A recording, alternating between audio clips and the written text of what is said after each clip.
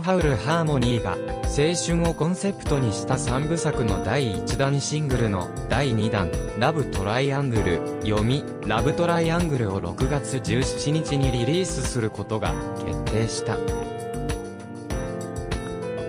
ラブトライアングルイコール三角関係。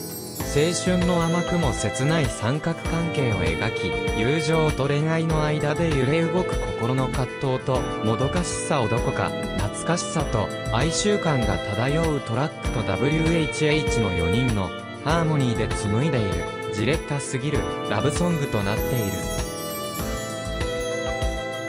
新曲、ラブトライアングルは、もし僕らが幼馴染のいつ面だとして、いつも一緒にいる仲間だけど同じ人を好きになってしまったら、という設定をもとに制作を進めていきました。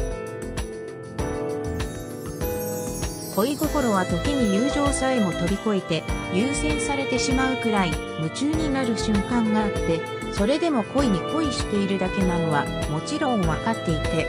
という儚くもどかしい恋心を描いた楽曲です。また、今回4人全員でサビのメインパートを歌い分けることで相手を取り合うような三角関係を表現しているので、ぜひ一人一人の声にも注目して聴いていただけたら嬉しいです。 WOLF HOWL HARMONY digital single Love Triangle 2024年6月17日月曜日 release Apple Music Spotify pre-add pre-save https colon slash slash avex.ffm.to slash wh hlt